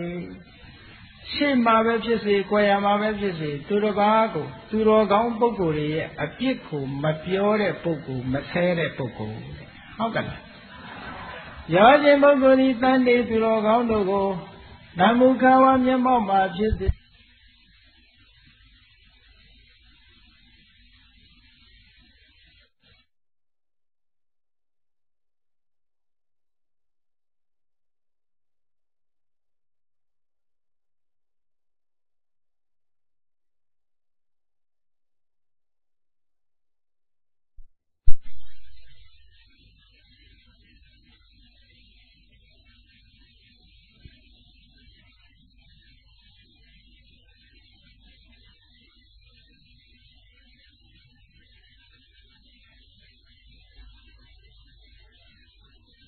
ကဲလောက်ရမယ်တချို့ကပြောတာကတစ်မျိုးလှုပ်တာကတစ်ခြားဟုတ်လားဒီလိုပြောဟိုလိုလို့နော်ပြောတဲ့တိုင်လုံးလေးမရှိကြဘူးယထာဝါရီတထကာရီပြောတဲ့အတိုင်းသာလုံးလေးရှိတော်တို့ပုဂ္ဂိုလ်ဤဝေစင်စကကရုံကကရုအမည်ရှိတဲ့နတ်ပန်းတော်ဝင်ကိုအရဟတိမုဋ္ဌမတိထိုက်တံပါပေတော့၏ ဣတိလိုဒီဝပုဒ္ဓနတ္တတိဩဇာကောင်းစွာမတိပြောကြခဲ့ပါပေတည်း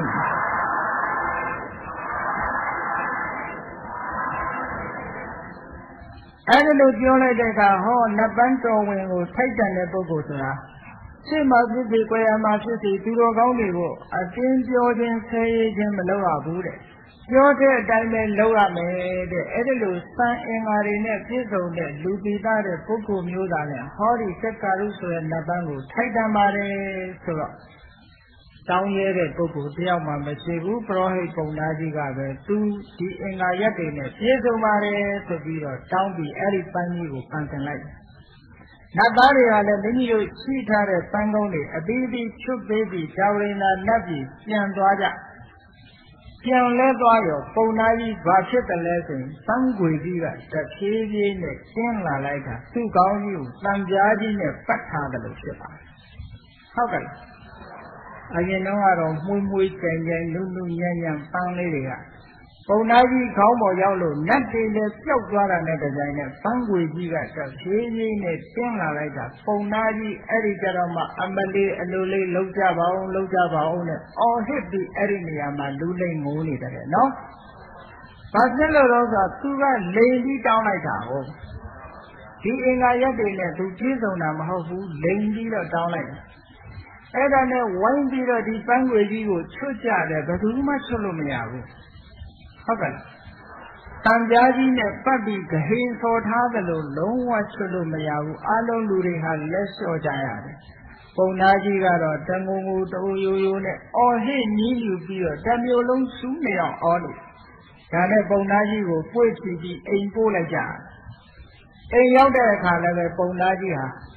ခေါင်းကြီးကတင်းကျပ်လို့ ပန်းခွေကြီးတွေကိုချစ်ချင်တော်လဲချွတ်လို့မရတရည်တီတရည်တင်းတင်းတင်းတင်းလာတဲ့အခါခေါင်းမှာတံပြားကြီးပတ်ပြီးတူနဲ့ထုနေတယ်လို့ပုံသားကြီးဟာဆင်းရဲဒုက္ခတွေသင်္ခံစွာခံစားရပါတယ်တဲ့ဘယ်လောက်ကြာတယ်လဲဆိုရင်9ရက်ပြည့်ပြီးခံစားနေရတယ်နော်အဲ့ဒါလိုခံစားနေရတဲ့ပုံသားကြီးရဲ့ဆင်းရဲဒုက္ခကိုမမြင်ရမရှိရဖြစ်တဲ့အခါဗာရဏတိမင်းကြီးကအမတ်တွေခေါ်ပြီးတော့စီဝေးတိုင်နေတယ် ဒီတိုင်းပြစ်ထားလို့တော့ပရောဟိတ်ပုံသားကြီးသေလိုက်တယ်ဘယ်လိုလုပ်ကြမလဲဆိုတော့ပညာရှိအမတ်တယောက်ကအကြံပေးဒီလိုဆိုရင်အဲ့ဒီနတ်တွေကျမ်းလာအောင်ပွဲတပင်ကြီးပြန်ပြီးတော့ကျင်းပကြအောင်မှဖြစ်မယ်ဆိုပါရဏတိကြီးမှာပွဲတပင်ပြန်ပြီးတော့ကျင်းပရတယ်နော်အမတန်ကြည့်တဲ့ပွဲလန်းတပင်ကြီးကိုပြန်ပြီးတော့ကျင်းပတဲ့အခါပွဲကြီးဆိုပြီးတော့ခုနကနတ်သားလေးယောက်ဟာပြန်ရောက်လာ ပြန်ရောက်လာတဲ့အခါမှာသူတို့ရောက်လာတော့မှပဲပရောဟိတ်ပုံနာကြီးသူတို့ရှိရမင်းရင်ပြင်ဘက်ကိုခေါ်လာပြီးတော့ပရောဟိတ်ပုံနာကြီးကသူ့ကိုကဲပါတဲ့သူဟာလိန်ပြီးပြီးတော့ဒီပန်းွေကြီးတွေကိုတောင်းတတောင်းမိတာပါသူ့မှာဒီခုံအင်္ဂါတွေဆိုလို့တခုမှမရှိပါဘူးတဲ့နော်အဲ့လိုလိန်ညာပြီးတောင်းမိတဲ့အတွက်ကြောင့်ဒီခုကဲ့သို့ဆင်းရဲဒုက္ခခံနေရခြင်းဖြစ်ပါတယ်လို့ဆိုတော့နတ်သားတွေက အရှင်ပုံနာတဲ့ဟောဒီတော်ဝင်နတ်ပန်းဆိုတာတာမန်ပုဂ္ဂိုလ်မပန်းတိုက်ဘူးတဲ့သင်ဟာလိန်ညာပြီးတော့ဒီလိုတောင်းတာရနိုင်မယ်လို့သင်ထင်တာကိုဒီပန်းဟာအမတန်မှမြင့်မြတ်တဲ့ပုဂ္ဂိုလ်တွေနဲ့မှထိုက်တန်တဲ့ပန်းဖြစ်တယ်။နောက်ဒီလိုလိန်နေပြီးတော့မလောက်ပါနဲ့လို့ဆိုပြီးတော့နတ်သားတွေဟာသူတို့ရဲ့ပန်းခွေလေးတွေကိုအသာလေးပြန်ချွတ်လိုက်တော့မှပုံသားကြီးဟာသက်သာသွားတယ်။နော် လိမ်လည်ပြီးတော့ယူလို့မရဘူးအဲ့လိုလိုပြန်ချွတ်လိုက်တဲ့အခါကျတော့ပုံသားကြီးယောဂဝေဒနာတက်တာသွားတော့နတ်သား၄ယောက်ကနေပြီးတော့လူတွေကိုကောင်းတဲ့အချက်နေနဲ့ပြည့်စုံရဖို့တိုက်တွန်းပြီးတော့နတ်ပြည်ကိုပြန်သွားတယ်အဲ့ဒီနတ်သားတွေတဲကအငယ်ဆုံးနတ်သားကဘယ်သူလဲလို့ဆိုရင်ရှင်မာကသဗအလောင်းနော် သူ့ရဲ့ကြီးတဲ့နတ်သားကရှင်မာမောက္ကလံသူ့ရဲ့ကြီးတဲ့နတ်သားကရှင်တာရိပုတ္တရာအကြီးဆုံးခေါင်းဆောင်နတ်သားကဘုရားအလောင်းအဲ့ဒီလိုတခုသောဘဝမှာဘုရားမြတ်စွာရဲ့ရှင်သာရိပုတ္တရာရဲ့ရှင်မောက္ကလံရဲ့ရှင်မာကလဗလိုနတ်သားဖြစ်ပြီးတော့ပွဲတိုက်တဲ့ဘဝမှာနတ်ပြည်ကပွဲနဲ့အားမရလူပြည်ကပွဲလာရှိလို့ယခုလိုဖြစ်ပြနေကြုံရတာနော် အဲ့ဒီလိန်ညာပြီးတော့တောင်းတဲ့ပုံနာကြီးကတော့ရှင်ဒေဝဒတ်ရဲ့အလောင်းတဲ့ဒေဝဒတ်ဖြစ်တဲ့အခါလည်းပဲလိန်တဲ့လူကလည်းဝါဒနာပါသွားတာနော်ရှင်ဒေဝဒတ်ဖြစ်တဲ့အခါလည်းပဲသင်္သဝတ္ထုလို့ခေါ်တဲ့ဝတ္ထု၅မျိုးမြတ်စွာဘုရားထံမှာတောင်းတယ်။ဘာတောင်းတယ်ဆိုရင်ယဟန်တော်များဟာတဲ့အမြဲတမ်းတန်တိကိုသင်္ကန်းကိုသာဝိုးယုံရမယ်။ဒါကကမှလှူတဲ့သင်္ကန်းကိုလက်ခံရင်အဲ့ဒီကိုတော့အာဘတ်တဲ့စေ။နော် သူတောင်းတဲ့အချက်တွေကရဟန်းတော်တွေကတရားဓမ္မတွေဆောက်လှူတဲ့ကျောင်းမှာမနေရဘူးတစ်ပင်ရင်းမှာတစ်သလုံးနေရမယ်။ကျောင်းပေါ်မှာနေပြီးလို့ရှင်အာဘတ်တက်ပါစေ။နော်ရဟန်းတော်တွေကအမြဲတမ်းတတ်တတ်လို့ပဲစားရတယ်။သားငါစားမိလို့ရှင်အာဘတ်တက်ပါစေ။ရဟန်းတွေကတောရကျောင်းမှာပဲနေရမယ်။ရွာကျောင်းမှာနေပြီးရင်အာဘတ်တက်ပါစေ။ဟာအဲ့ဒါလို့တောင်းဆိုချက်တွေ ဒီလိုတောင်းဆိုချက်တွေကိုတောင်းပြီးတော့ဒီတောင်းဆိုချက်၅မျိုးနဲ့လိုက်ပြီးစီးရုံးပြီးမြတ်စွာဘုရားရဲ့ဂရိသားတာဝက900ကိုသိဆောင်ခွဲပြီးတော့ခေါ်သွားတယ်သံဃာပိဋကကံကြီးကိုကျူးလွန်ခဲ့တယ်နော်အဲ့ဒါလို့ကျူးလွန်တာဟာလိန်ညာပြီးတော့လှုပ်တာတဲ့အဲ့ဒါလို့လိန်ညာပြီးတော့လှုပ်တဲ့အတွက်ကြောင့်မူတာဝါဒအကျိုးကိုရှင်ဒေဝဒဘဝမှာခံရတယ်လို့ပရောဟိတ်ပုံသားကြီးဘဝမှာလည်းခံရတယ်တဲ့ဒီလို ဘုန်းကြီးတို့ကက္ကာရုဇတ်မှာဘဗုဒ္ဓမြတ်စွာကဟောကြားတော်မူခဲ့တာဖြစ်ပါတယ်။အဲဒါကြောင့်မလို့ဘုန်းကြီးတို့မျိုးကောင်းသားမျိုးကောင်းသမီးတွေလူဘဝလူရည်လို့ဖြစ်လာတဲ့အခါအခုပြောခဲ့တဲ့အတိုင်းနော်သူတို့ဘာဥစ္စာကိုခိုးယူခြင်းမကောင်းတဲ့မူသားစကားကိုလိန်လီလီပြမူသားစကားကိုပြောဆိုခြင်းဒီတဲ့ဥစ္စာရလာတဲ့အခါယာတုအာနာရလာတဲ့အခါမမောခြင်းမေ့လျော့ခြင်းဆိုတဲ့ ဒီငါအချက်တွေကိုလည်းပဲကျင့်တော့အောင်ဆောင်ကျင်ပြီးတော့လူကျင့်ဝတ်နဲ့အညီကျင့်ကြံကြုတ်ကိုအားထုတ်ကြရမှာဖြစ်တယ်အဲ့ဒီလိုအခုပြောခဲ့တဲ့အညီချင်းအညီအသေးတွေနဲ့ပြည့်စုံပြီဆိုလို့ရှိရင်သက္ကာရုခေါ်တဲ့နတ်တန်တော်ဝင်ကြီးကိုတို့ဟာပန်တိုက်တဲ့ပုဂ္ဂိုလ်တွေဖြစ်တယ်မဖြစ်ဘူးဆိုတာခွန်ကြီးတို့မျိုးကောင်းသားမျိုးကောင်းသမီးတွေကိုယ်ကကိုယ်စံချိန်ထားပြီးတော့မှတ်သားကြရမှာဖြစ်တယ်နော် ဒါကြောင့်မလို့ဘုရားမြတ်စွာဟောကြားတော်မူခဲ့တဲ့သာဓကဒေသနာတော်ကိုကြားနာပြီးတဲ့နောက်မှာလူဘဝလူလောကမှာနေကြတဲ့လူသားပြည်ပြည်ဖြစ်ကြတဲ့ဒုတွေဟာမြင့်မြတ်တဲ့စိတ်တွေကိုမွေးပြီးသကားလဒါဝိလာလက်တွေကတို့ကိုသူတော်ကောင်းလို့သတ်မှတ်ထားတဲ့အရှင်တရားတွေနဲ့ကျင့်ကြံကြိုးကိုအားထုတ်ကြရမယ်လို့ကိုစီကိုစီ နှလုံးသွင်းပြီးတဲ့ကာလကျင့်ကြံပွားများအားထုတ်တော်မူနိုင်ကြပါစေကုန်တည်း